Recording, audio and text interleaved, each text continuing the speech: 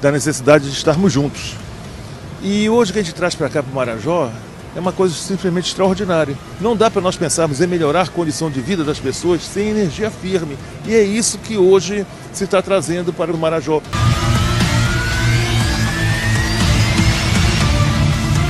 Meu nome é Rosane Jesus da Paixão. Nós necessitamos de várias coisas nas Ilhas das Onças, mas o nosso objetivo é energia.